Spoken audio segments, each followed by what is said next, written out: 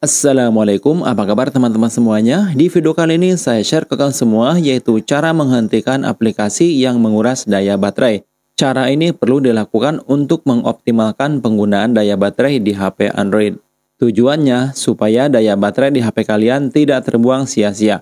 Oke, langkah pertama untuk melakukannya, silahkan kalian buka menu pengaturan atau setelan yang ada di HP. Kemudian pada kolom pencarian di atas, ini kita ketikkan saja baterai.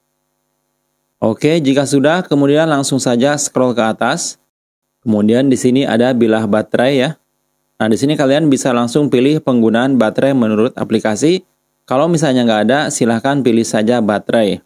Kemudian pilih penggunaan baterai menurut aplikasi.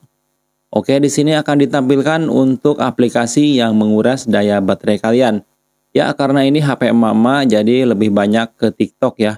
Di sini TikTok menyita ruang di sini TikTok menyita daya baterai hingga 12% lebih. Wah, tentu saja ini sangat boros ya.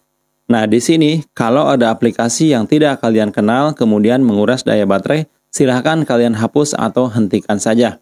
Contoh di HP saya yang lain, di sini ada aplikasi yang tidak pernah saya gunakan tetapi menguras daya baterai. Jadi daya baterai kita terbuang sia-sia. Oke, di sini kita bisa langsung menghapusnya ataupun menghentikan paksa aplikasi tersebut. Oke, silahkan lakukan juga ke aplikasi yang lain yang tidak pernah kita gunakan. Tujuannya tentu saja supaya daya baterai kita tetap awet. Baik teman-teman, ini saja mungkin untuk video pada kesempatan kali ini. Semoga bermanfaat. Terima kasih banyak sudah menonton. Assalamualaikum warahmatullahi wabarakatuh.